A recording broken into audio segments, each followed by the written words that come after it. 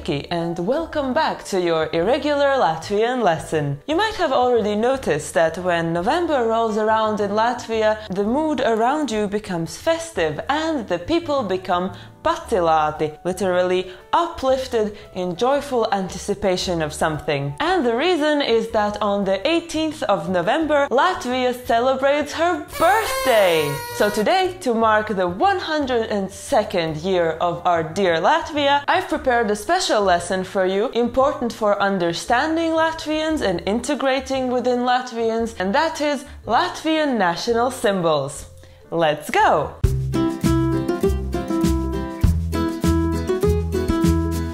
The national symbols of Latvia. As we are a singing nation, let's begin with our national anthem, Valsts himna Dievs svētī Latviju, or in English, God Bless Latvia. The song, written in 1872 by Kārlis Baumanis, became the official Latvian anthem in 1920. But for the most part of its existence, it has been subject to various types of censorship. During the Russian Empire, performers were discouraged from using the word Latvia and were instead asked to sing Dievs svētī Baltiju. And of course, during the Soviet times, the hymn was forbidden altogether. Now, though, it is back in its rightful place and protected by the law on the national anthem. Among other things, the law prescribes that orchestras and choirs should perform the Latvian national anthem in B major, si bemol majora. But if you wish to perform it solo, you don't have to be a soprano. The law prescribes a lower key the F major. There's another Latvian song that is so important to us that even a small petition started for it to replace the national anthem because of the power and might of its lyrics, melody, and even the title. Saule Pērkons Daugava, the sun, the thunder, and the Daugava River. In this song, the sun and the thunder are portrayed as the parents of the Latvians who helped us acquire and then protect our land. And Daugava the longest river that flows through Latvia, has historically been an important transport and commerce route, a source of drinking water, and a strategic asset. The river is so important to That we even gave it a national nickname.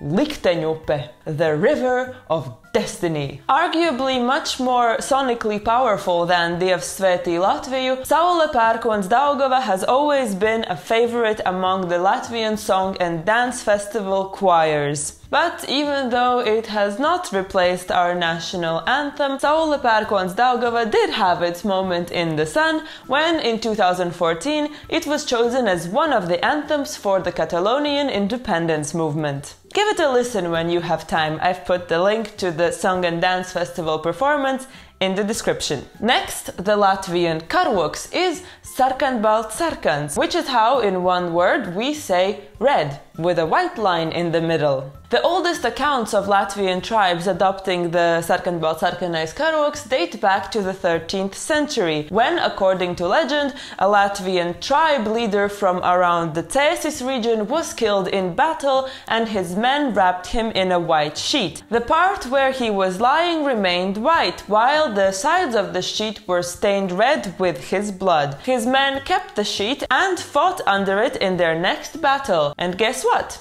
they won. Then in 1915, so World War I, when the Russian Empire allowed for Latvian riflemen regiments to be formed, the Latvian Strelnieki also chose to fight under the Sarkanbalt Sarkanais karogs, thus connecting our sense of national identity forever to these colors. But it seems that other nations have also connected themselves to these colors. If you're thinking that the Latvian karogs looks quite similar to the Austrian karogs, you are not wrong. Even though if you look, you see ours is darker than theirs and differently shaped, many, even people working in diplomacy, have made the mistake of confusing the two. Most notably when Russian diplomats greeted Austria with a birthday card which depicted the beautiful friendship of Russia and Latvia, or the huge oopsie of Macedonia when they welcomed the Austrian chancellor with the Latvian flag waving proudly and joining in the welcome. However, if you look at the pictures, that flag seems to be a very strange hybrid of Latvian and Austrian colors. Not sure if that could be considered the Latvian flag. The proportions are right, but the color seems very far off from the Latvian deep red. So maybe it was the sunlight, or maybe it was AliExpress. Anyway, the visual similarities are not the only things that unite the Latvian and Austrian karogi. Both are among the oldest flags in the world, and both origin stories involve a white cloth and blood lost in battle. Why is then the Latvian one darker than the Austrian? Well, for one of two reasons. Either Austrians get more oxygen in their blood out there in the Alps, or the Latvian battle happened on a typical Latvian day, which was Klaudija!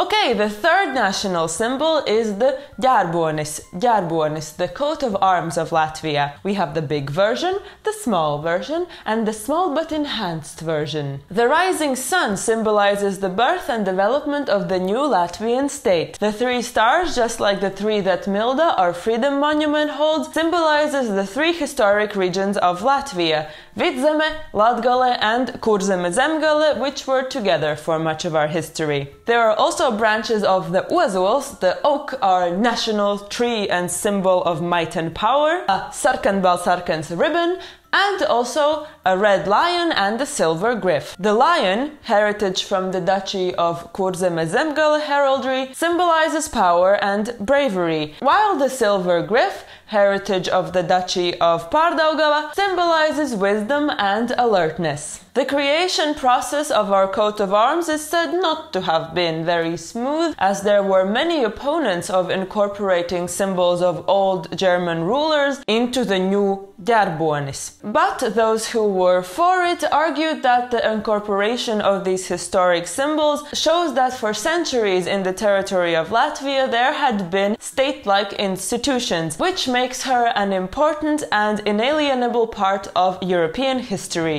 In the final speech before the vote to accept the ģerbonis, the leader of the working group of heraldry of the Saeima said this Besides, the Latvian sun has risen over these historic symbols, and it is she who now dominates this new composition. Now for some quick, less official symbols. We have rupjmaize, rye bread, the source of Latvian health and might. And if you're ever lost, you only have to bite into your shell slice of rupjmaize and it will instantly transform itself into the map of Latvia. Another national symbol that we used to have was our national currency, lati and santīmi. Not only was it a very strong and expensive currency, but we also loved collecting the special anniversary editions of 1 and 2 lati coins. Well, things change. Now it's more practical. Then Lielvārdes josta. You probably have already seen it in tourist shops in Riga. A very beautiful and complex belt with Latvian motifs that hold powerful codes of magic that we will look at in another video. And finally, the 18th of November 1918, the day of the proclamation of the Latvian independence. The day was Monday, the place was the now National Theatre of Latvia, and the proof is this one photografia.